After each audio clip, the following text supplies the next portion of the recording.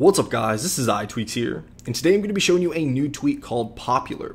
Now what Popular does is give you all of your most used applications right there in the app switcher. So you can see right here that our recent contacts have been removed and now we have our most used apps. So this is all dynamically assigned just based off usage of each application.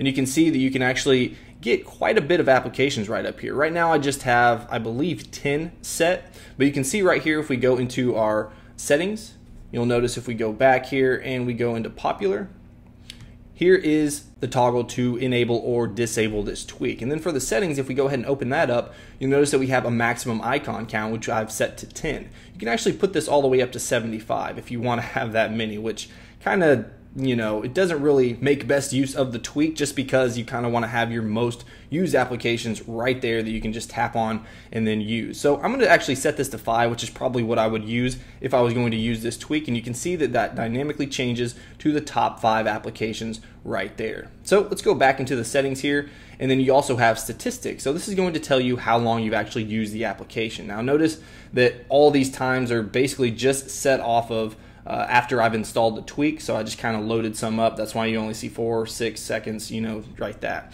But once you use this for a while, maybe a day, then it's going to actually get a more accurate use case for this tweak and then it's going to put those applications right up there.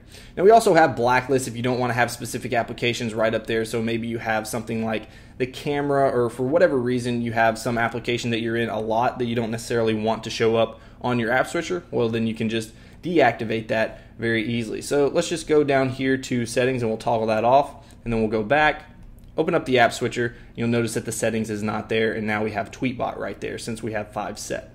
So we're gonna go back here and we're gonna go down here to favorites. So if you have your favorites toggled on, then you can select the applications right here. So just tap on add an application. Let's say that we wanted to add activator. So now when we go back, you're gonna notice that our favorite applications are right over here to the left. So if we add multiple, which I'll do right here, add an application, we'll add the uh, camera as well, and go back, and you'll notice that we have the camera right there. So basically all of your favorite applications are gonna populate to the left of your most used apps. So just keep that in mind.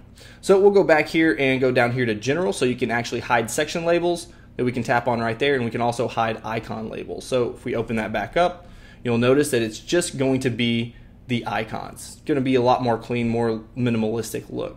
Of course, if we just turn off one, then you'll notice that we have favorites and most used apps, but we don't have the actual names of the icons. Now that's basically all that Popular does. You can add your most used applications as well as your favorite applications right there to the top of your app switcher. Let me know what you guys think about this in the comments below. And if you guys enjoyed this video, make sure you hit that subscribe button. All right, guys, until next time, peace.